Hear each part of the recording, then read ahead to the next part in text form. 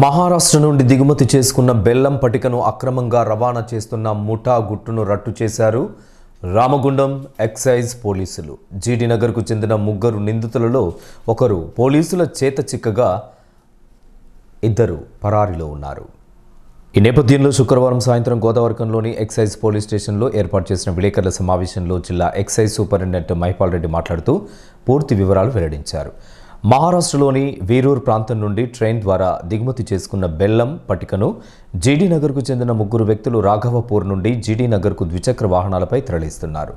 ఈ క్రమంలో రామగుండం ఎక్సైజ్ పోలీసులు గురువారం రాత్రి కన్నాల వద్ద నిందితులను పట్టుకోగా దేశెట్టి వంశీ అనే యువకుడు పోలీసుల చేతికి చిక్కాడు. పల్లపు సంతోష్ సంపంగి కుమార్ అనే మరో ఇద్దరు నిందితులు పారిపోయారు. నిందితుల నుండి నూట యాభై కిలోల పట్టిక వంద కిలోల బెల్లంతో పాటు మూడు ద్విచక్ర వాహనాలను ఒక సెల్ ఫోన్ను స్వాధీనం చేసుకున్నట్లు ఎక్సైజ్ సూపరింటెండెంట్ మైపాల్ రెడ్డి తెలిపారు. చేతికి చిక్కిన దేశెట్టి వంశీని రిమాండ్ చేయనున్నట్లు ప్రకటించారు. పరారీలో ఉన్న మరో ఇద్దరు నిందితులను కూడా త్వరలోనే అరెస్ట్ చేస్తామని చెప్పారు. లో ఉన్న వీరూరు నుంచి రైల్వే అంటే రైల్వే ట్రాన్స్పోర్ట్ ద్వారా బెల్లము అల్లం తీసుకొని వస్తూ రావపూర్ స్టేషన్ దగ్గర దిగి మూడు బైకులపై వస్తుంటే నూట యాభై కేజీల అల్లము వంద వంద కేజీల బెల్లాన్ని సీజ్ చేశారు. దాంట్లో ముగ్గురు అక్యూజ్డ్ ఒక అక్యూజ్డ్ పట్టుబడ్డారు ఇద్దరు పారిపోయారు. దాంట్లో ఒక ఆయన వంశీ ఇంకో ఆయన సంతోష్ ఇంకొక ఆయన సంపంగి కుమార్ ఈ ముగ్గురు వస్తుంటే ఒకరిని మాత్రం అరెస్ట్ చేశారు. దాంట్లో మూడు వెహికల్స్ కూడా సీజ్ చేశారు. తర్వాత ఒక సెల్ ఫోన్ సీజ్ చేశారు.